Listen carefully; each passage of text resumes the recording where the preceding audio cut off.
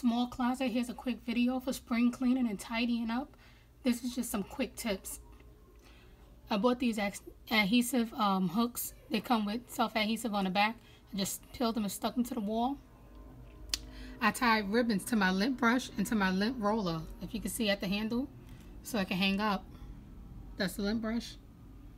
And going down, that's the lint roller. And that just helps to keep everything nice and neat, help keep your clothes looking nice and neat.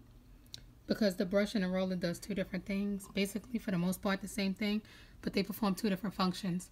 So that's how I did it. Um, I bought that tap light and I hung that tap light up that tap light just gives me extra light so that I can look around and see what I have and just navigate this small closet better. So that's basically it. If you have any questions, you can leave comments and I'll be quick to answer them. Bye-bye.